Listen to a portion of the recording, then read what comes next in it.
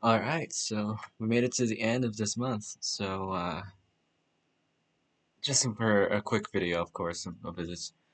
What was your favorite moment of the two of the, the dubs that were posted for this month? Of course. So, well, mainly just for the fact of it and stuff. So, uh, well, so comment down in the comment section.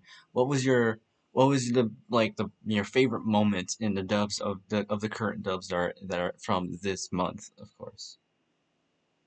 So I I would just want to see some thoughts and stuff of what what what the dubs are for from the from this month, of course.